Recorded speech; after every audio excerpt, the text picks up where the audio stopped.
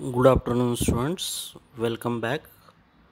Now in continuation with the last lecture now we are going to see the second part that is system development process of design flow use in the identification of each pattern.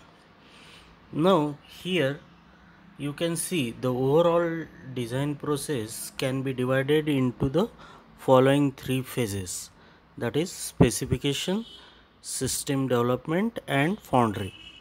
Okay now for uh, understanding better understanding we will uh, directly go into the system development process that is the architecture. So this is the diagram which represents the system development process. Now as you can see in this diagram the three phases are clearly marked with the dotted line the specification system development and the foundry phase okay now one by one we will see how these uh, subsystems will help us in the uh, system development process now the first phase is the specification phase. Models of architecture patterns and the components are developed and verified over here. Okay. Now please concentrate on the diagram. Uh, you can see over here in the first phase that is the specification phase we are able to see the architecture patterns and the components which are getting developed and verified. Now moving further these developed components are annotated with the verified properties and the constraints that must be satisfied for those properties to hold. Okay so the components you can see in the diagram.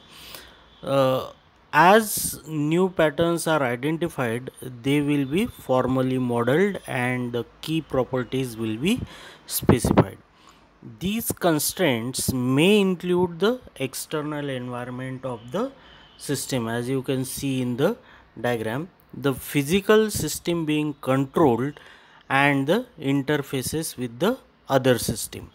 So you can see in the diagram the annotated and verified models are shown.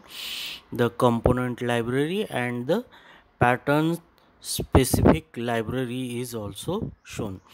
The resulting annotated models of the system architecture pattern and the components are published in the form of library for consumption by the system development phase.